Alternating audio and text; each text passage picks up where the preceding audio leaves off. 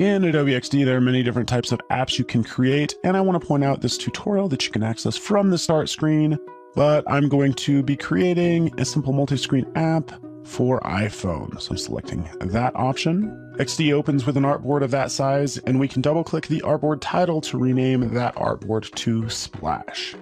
Now, since this artboard's selected, I can see the properties for the selected item on the right, and I can change the fill color, for instance, to a nice blue in this case.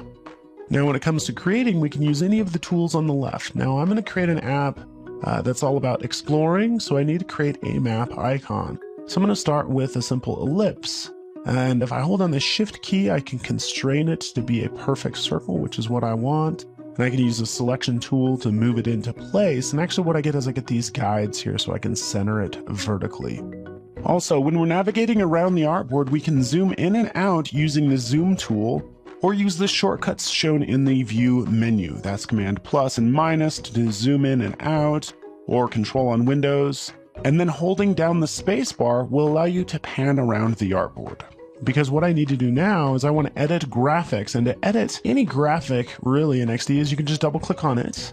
Now notice how I have access to all the Bezier points to modify, or I can just double click on it to make it a sharp point. I can also reposition it anywhere as well. And I want to punch a hole in this shape uh, by really creating another circle on top. Holding down the option key will draw from the center. Now I'm going to select both and then just select subtract.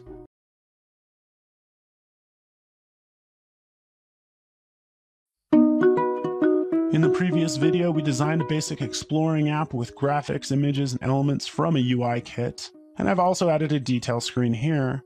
But what we want to do now is wire up these screens to create an interactive prototype.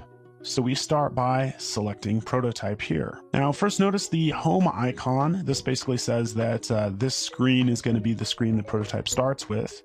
But from there, if I can select it, I can add an interaction to it. And in this case, I actually want to select the entire artboard. Now notice this blue arrow, this is called a trigger, and I can take that trigger and point it to any screen that I want. And if you want to remove a trigger, you can just drag it off and it will remove it. Because I actually want this splash screen to link to the places screen.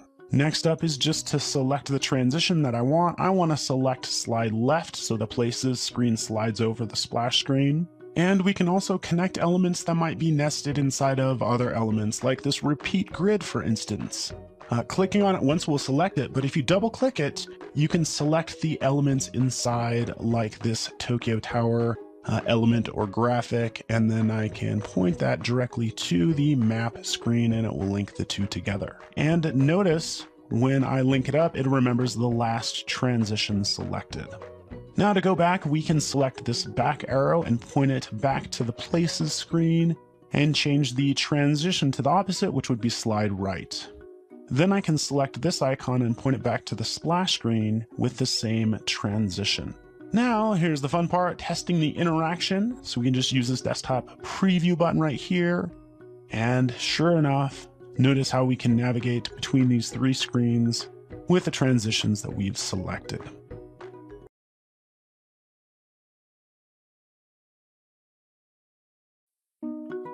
In the previous video, we prototyped an exploring app. Here it is with some additional places, but now we're to share our prototype with others for feedback and testing as well as previewing the experience on mobile devices. Now to start, we can just open up the sharing dialog in the top right of XD, and I can select publish prototype. From there, I can just give it a title like exploring app. I'm to allow comments, and I want to show the hotspot hints. Then I can create a public link. Once you have that public link, you can share it with others. And when others open this link, they'll see the prototype, they'll be able to interact with it. And notice how if they happen to click in an area that's not active, well, the hotspot hints are shown.